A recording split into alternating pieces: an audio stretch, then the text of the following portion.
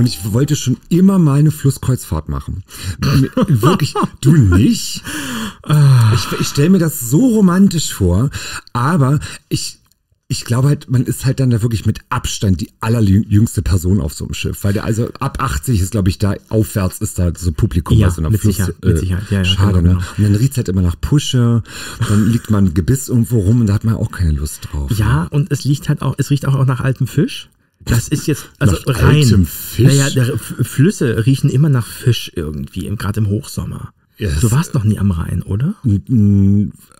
Na doch, in Köln war ich schon. Ja, in Köln. Ja, aber in da riecht Köln es nicht nach Fisch. Nein, da sind andere Substanzen, die das noch verdecken. Das ganze Kokain, was da in den Fluss runtergeschippert Oh wird, ja. ne? das, das, Oh ja, ja, das, ja, ja. das neutralisiert ja auch den Fisch. den Fischen dort geht's gut. Also, Die schwimmen so richtig schnell immer durch Köln durch das und dann direkt nach Düsseldorf rüber. das Ne, hör dann, mal. du, die schwimmen manchmal so schnell, dass die gar kein Wasser dafür brauchen. Ach so, das sind die fliegenden Fische. Das sind die fliegenden. Fische, die sind da manchmal einen Meter über Main, da fliegen die drüber hinweg. Hui.